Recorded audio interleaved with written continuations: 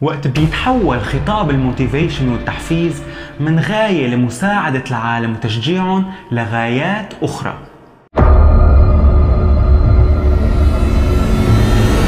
غايات أخرى مثل كسب المال، تحقير المدرسين، تهميش الفقراء أكثر ما هن مهمشين، التقليل من قيمة الدراسة والشهادات الجامعية وغيرهم كتير.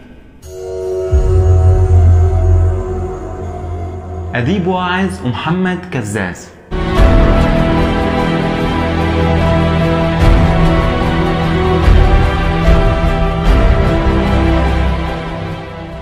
مرحبا واهلا فيكم فيديو جديد. اليوم رح نحكي عن اثنين يوتيوبرز معروفين حاليا وفي انقسام كبير بالرأي حولهم. ويلي هن أديب واعظ ومحمد كزاز. ملاحظة صغيرة قبل ما نبلش النقد ما نقد شخصي بل هو نقد للأفكار ومو مقصود فيه أي إساءة. لفت نظري إنه كل ما حدا ينزل عنه فيديو كل ال comments بتكون وأخيرا في حدا حكى عنهم وأخيرا في حدا حكى يلي بقلبنا. مشان هيك حبيت أعمل هذا الفيديو ونتناقش مع بعض بأفكارهم لهدول الأشخاص وقصتهم ومحتواهم. Let's get into it. أديب واعظ شاب سوري من مدينة حلب هاجر بسبب الحرب على النرويج درس وتخرج بس حس بالاخر إنه هو ما حقق شيء مهم من دراسته أو من شهادته فهون قرر إنه يفتح ال business الخاص فيه. بكل فيديو بيحكي عن هذا ال business وبيذكره بس لحد الآن ما حدا بيعرف بالتحديد شو هو هذا ال business. بيقول إنه هو consulting أو مستشار. بس كمان لحد الآن ما حدا بيعرف إنه هو بقدم استشارات ب 1000 و2000 و3000 يورو بأي اختصاص أصلا. الشيء الوحيد المعروف والواضح إنه هو ببيع course اسمه من الصفر للمية بمبالغ كتير عالية. ترك النرويج وعايش حاليا بدبي عاصمة المؤثرين حول العالم.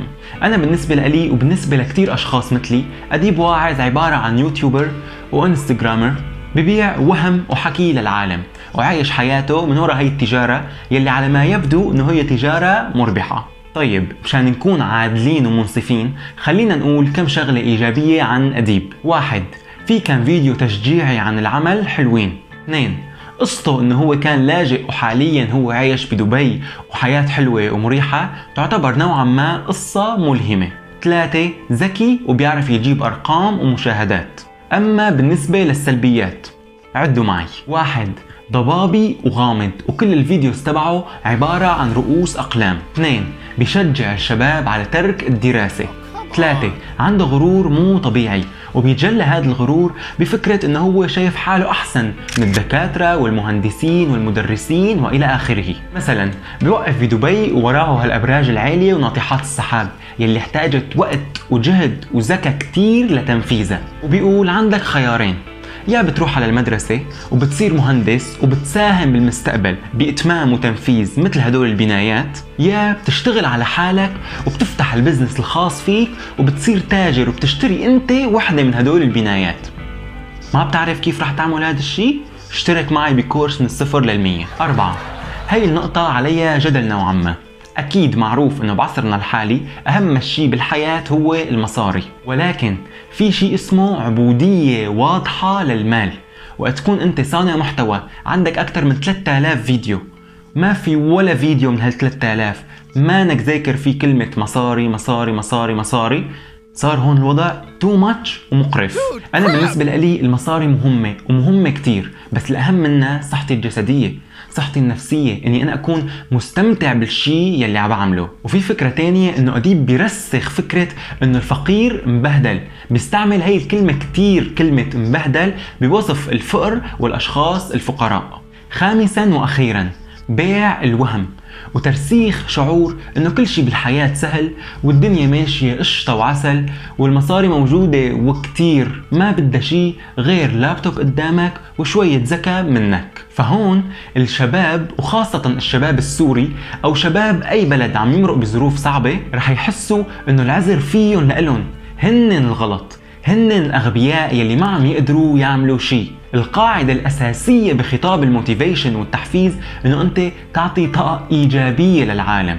للأسف أديب كسر هي القاعدة الجوهرية من قواعد ال motivation. محمد كزاز. شاب سوري من مدينة حلب.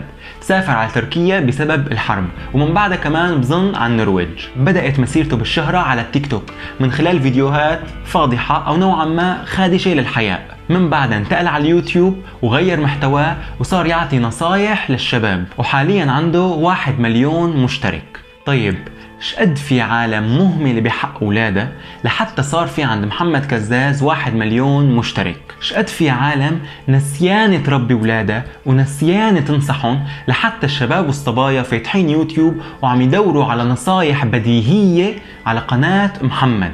محتواه كله أو 90% منه والنصايح يلي بقدمها كلها نصايح وأمور تافهة وسخيفة لأبعد الحدود. مشان ما نطول كتير ناخد مثال العناوين. خمس عادات رح تساويك مثل النسوان إذا ضليت تعملون كيف تستخدم رجولتك صح لتغير من حياتك؟ خمس أسرار بس الرجال يلي عليهم القيمة بيساوون.